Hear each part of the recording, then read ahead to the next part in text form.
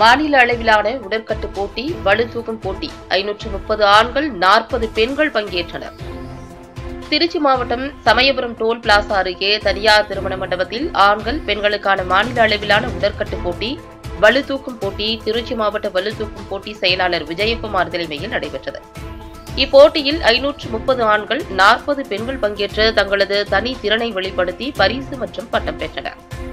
Indian உடற்பயிற்சி கூட்டமைப்பு மற்றும் சமயபுரம் வலுவான உடற்பயிற்சி கூடம் இணைந்து மாநில அளவிலான உடற்கட்டு போட்டி பளுதூக்கும் போட்டி நடைபெற்றது.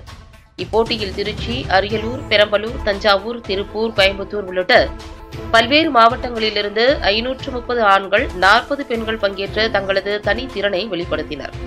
இப்போட்டியில் ஜெகநாதன் தனசேகர் ஸ்டாலின் மணிகண்டன் ஆகியோர் நடுவர்களாக செயல்பட்டனர் உடற்கட்டு போட்டியில் ஆண்கள் பிரிவில் கோயம்புத்தூர் மாவட்டத்தைச் சேர்ந்த தமிழரசன் பெண்கள் பிரிவில் சிவகங்கை மாவட்டம் திருப்பத்தூரைச் சேர்ந்த சங்கீதா ஆகியோர் முதல் இடம் பெற்றனர்.